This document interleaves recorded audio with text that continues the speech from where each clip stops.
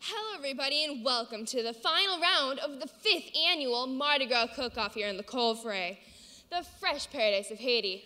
I am Master Chef Abby Dayton. So, are you ready to meet this year's Recipe Challenge champions? Yes, yes. Huh, looks like the judges couldn't decide, and we have two winning recipes. For the protein challenge, we have Leah Schroeder and her winner winner chicken dinner. Thanks, Abby. I'm so excited the judges like my recipe. They loved it. Here's your award. Thanks. And in the vegetable category, for her one potato, two potato, sweet potato pie, we have Emily Abramzik. Great job, Emily. Thanks, Abby. Here. Whoa, so I understand that you two are actually the coworkers and friends? That's right. We met in college at Michigan State, and today we both work at Apple Ag Systems. I'm an agricultural engineer that specializes in sustainable food systems. And I'm a bioenergy engineer. I work on renewable energy solutions. Cool, so you two are engineering friends who are also amazing cooks. That's awesome. Tell us a little bit about the inspiration for your award winning recipes.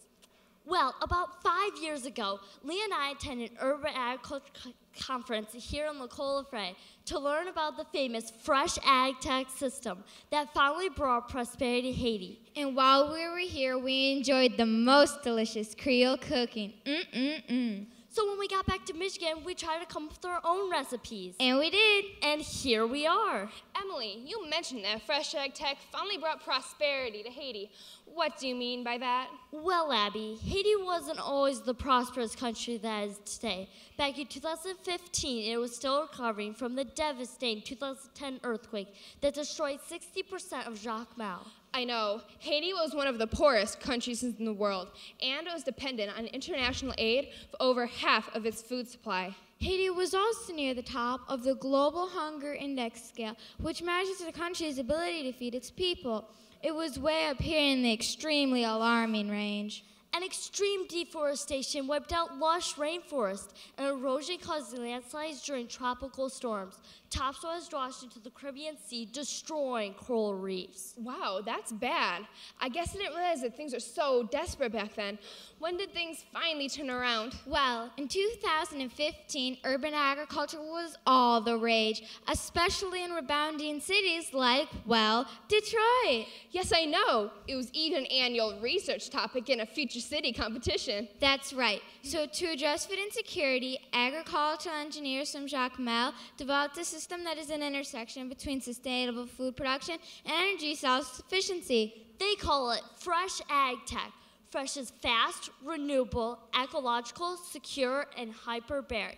It takes into account the whole food print required to produce, well, food. What's food print? you know, energy, water, air quality, efficiency, things like that. And due to fresh ag tech, La Colle which means fresh town, blossomed along the Grand River. And the rest, well, it's history. What an amazing story. It is amazing. Come over here. Let me tell you a bit about fresh. Okay. First, fresh is fast. It's fast from farm to fork because the farm is in the same city as the fork. Fantastic. Local production in the agriculture towers reduces refrigeration needs, which means fresher, more nutritious food. And since transportation costs are lower, food is also more affordable. La Colle Frey's transportation system is super fast. Yes, Hydro Hyperloop is fast and efficient. Personal pods connect to public transit at transport towers. And cargo, including fresh food and water, is delivered fast to locations throughout the city and beyond. Cool. Fresh is also renewable. R5 Power produces more energy than La Colle needs. R5 Power? What in the world is that? R5 stands for Reliable Revenue from Robust, Redundant, Renewable Energy Sources. Osmotic energy is generated where the river meets the sea, and solar thermal systems create power and fresh water at our desalination station. Our biggest source, however, is generated in the agricultural zone. You see, the chickens produce over 750 tons of manure each year. Ew, that is a lot of chicken waste. It is. But the bioenergy system turns the manure into electricity. Let me show you. Here is our agriculture towers. Chicken and vegetable waste is collected below the tower. Then the anaerobic treatment converts it into biogas, which generates clean electrical and thermal energy. Huh, waste energy. That's sweet, not smelly. The E in fresh stands for ecological. It's a closed loop ecosystem. As Leah mentioned, chicken waste is converted to energy. The waste also fertilizes the sweet potatoes, and sweet potato waste, which is stems and leaves, feed the chickens. Chickens and sweet potatoes, the same proteins and vegetables in your award winning recipes. Yes, chicken is popular in Haiti. It's also more efficient to raise than other livestock. For instance, producing one kilogram of chicken takes four times less water and eight times less energy than one kilogram of beef. That's a huge difference. It is. Fresh is also secure. A high global hunger index is a thing of the past, and residents can feel safe due to Safe 3D. Safe 3D? What's that? SAFE stands for Seismic Activity Foundation Enhancement, and 3D printing enhances stability. Let me demonstrate. In case of Whoa. an earthquake, this building is not safe because it does not have Safe 3D. Not good. This building, however, does have Safe 3D. So, in case of another Whoa. earthquake, this building is well safe. That's amazing. Green Thumb is also another security feature of Fresh. Yes, I know. I've heard of the real time holographic communication and wellness interface. It has links to the triple redundant IntelliCellus. Finally, fresh is hyperbaric. Hyperbaric. Is that related to the Hyperloop mentioned earlier? No. Oh. Hyperbaric means higher than atmospheric pressure. I will explain it using the ideal gas law. PV equals nRT. At constant volume and temperature, an increase in pressure results in the increase in the amount of oxygen.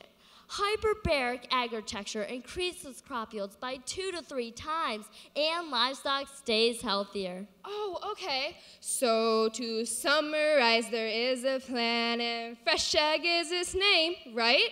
That's right. F R E S H. F R E S H.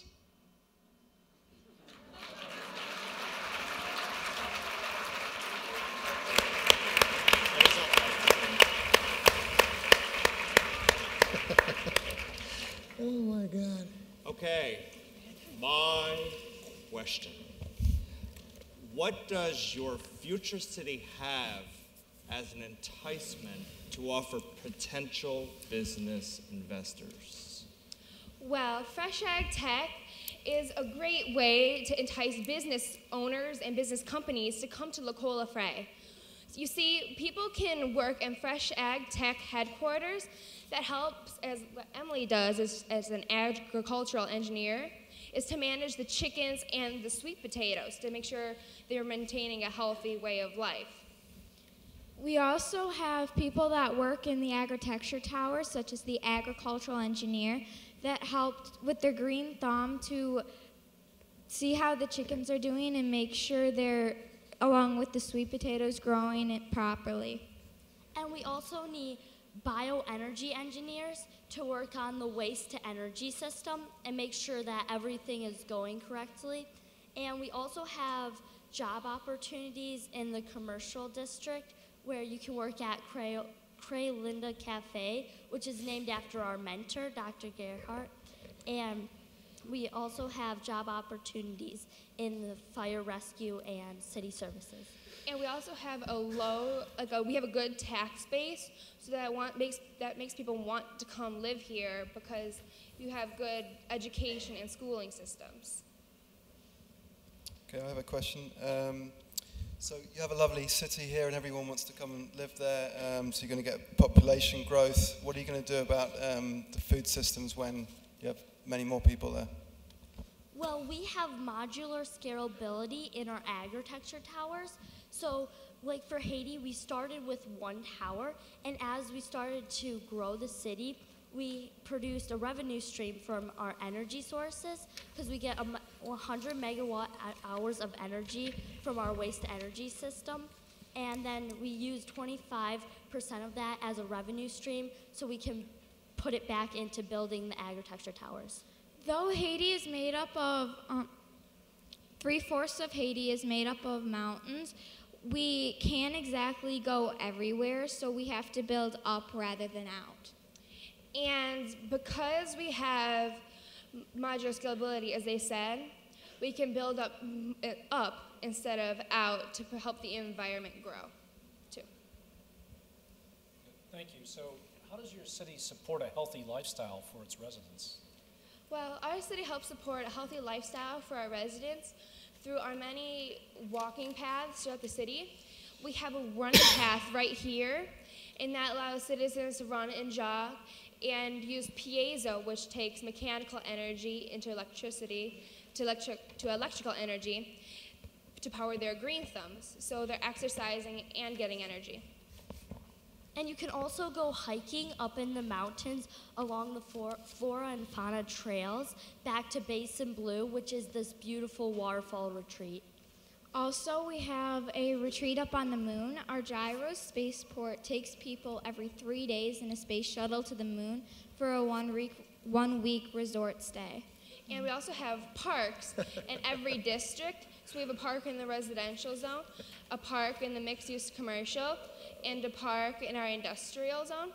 And because we have all those parks, we, we think it's also good for people to have a good mental and a good mental energy. So we have a museum and library over the river. And since we grow our food right in the city, it makes it fresh when the people go and buy it. And where are the markets placed where the people can buy? Um, we have a farmer's market in the agricultural zone right here next to the fresh headquarter towers. And so it's really easy for somebody to catch the Hydro Hyperloop and go right on over to the agricultural district and go pick up their food. The Hydro Hyperloop can move people, small cargo, goods like food, and water throughout the city and beyond because it uses vacuum technology, so it goes 50 miles an hour in the city and 200 outside the city. You guys have done a great job. Uh, why did you pick the sweet potato? We chose sweet potatoes for Haiti because it's one of. Oh, I want to know. it's funny because the diet doesn't have much folic acid, does it?